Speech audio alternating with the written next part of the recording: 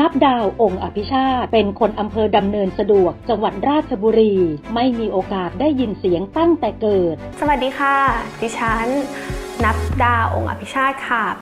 นับดาวจบการศึกษาระดับมัธยมศึกษาตอนปลาย จากโรงเรียนพัทลยานวิทยา จังหวัดนครปฐมจบปริญญาตรี หลักสูตรการจัดการทั่วไป คณะวิทยาการจัดการ มหาวิทยาลัยราชภัฏสวนดุสิต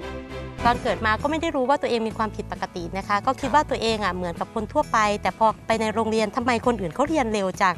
เราก็รู้สึกสงสัยแล้วก็รู้สึกหงุดหงิดกับตัวเองอะค่ะเพราะว่าตามเพื่อนไม่ค่อยทันในเรื่องของการเรียน จนสุดท้ายก็มารู้ว่าปัญหาก็คือเราไม่ได้ยินเสียง แต่ดิฉันก็พยายามที่จะเรียนรู้ด้วยการอ่านปาก นับดาวเคยพูดว่า ตอนเด็กๆ ฝันอยากเป็นผู้กำกับหนัง แต่พอไปสมัครมหาวิทยาลัยต่างๆ เขาไม่รับ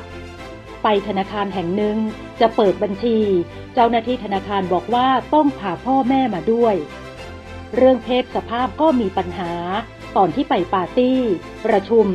แต่พอเรามีเสียงในลำคอหลุดออกไปแล้ว มันเหมือนผู้ชาย พอเขารู้ว่าเป็นคนข้ามเพศ ก็จะพยายามถอยตัวออกห่าง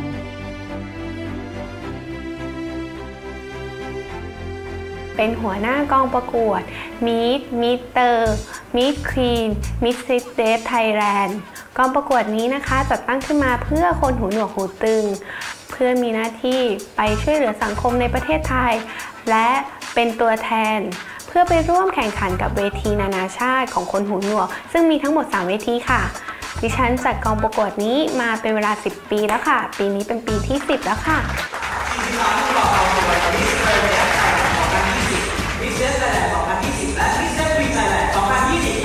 ม่านบนเวทีค่อยๆ เลื่อนเปิด ให้เห็นผู้เข้าประกวดที่ยืนโพสต์อยู่ ไฟเวทีกระพริบเร็วๆ คุณนับดาวองค์อภิชาติ ผู้รับรางวัลผู้เสียสละเพื่อสังคม